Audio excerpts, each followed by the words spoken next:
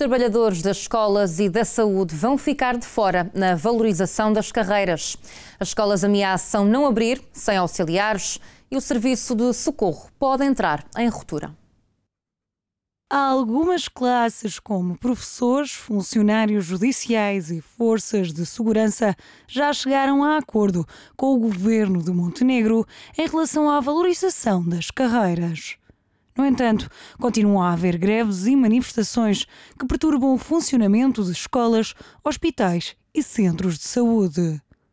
Os estabelecimentos de ensino não têm capacidade de abrir sem auxiliares de educação e deixa de ser possível realizar análises clínicas e alguns tratamentos se não houver técnicos superiores de diagnóstico e terapêutica. O mais recente acordo plurianual para a valorização da administração pública 2025-2028 prevê um aumento de 56 euros e 58 cêntimos para quem ganha 2.620 euros e 23 cêntimos mensais brutos e de 2,15% para quem tem vencimentos superiores. Todas as carreiras vão sair beneficiadas com as subidas remuneratórias, mas algumas classes sentem-se pouco reconhecidas e reivindicam valorizações extraordinárias à semelhança das aprovadas para docentes, polícias, militares, enfermeiros ou até médicos.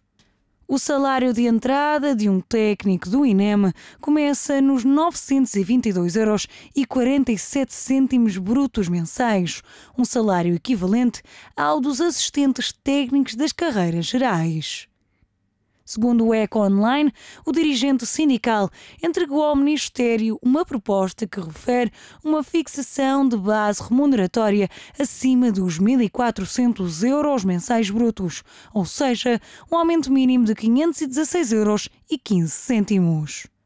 Já os técnicos de diagnóstico e terapêutica querem uma valorização idêntica à dos enfermeiros e esperam que o Ministério inicie as negociações até ao final do mês. Luís Dupont admite novas formas de luta, incluindo manifestações e greves. O dirigente sindical revela que, apesar da carreira ter sido revista em 2022, que a tabela está desatualizada com a do técnico superior da carreira geral e com a de enfermeiro. Atualmente, o salário de entrada de um técnico superior de diagnóstico começa nos 1.333,35 euros, enquanto que o ordenado mínimo de um técnico superior da carreira geral arranca nos 1.385,99 euros. Em relação ao pessoal não docente, a Federação Sindical exige que sejam criadas carreiras especiais com melhores salários para os assistentes operacionais, que passariam a auxiliares de ação educativa, e para os assistentes técnicos, que iriam integrar a carreira de assistente administrativo de administração escolar.